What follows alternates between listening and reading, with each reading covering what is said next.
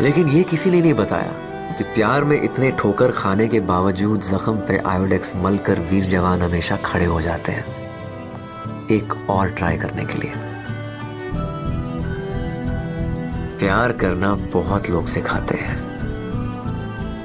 और अफसोस, उस प्यार को भुलाते कैसे हैं? ये साला कोई नहीं सिखाता।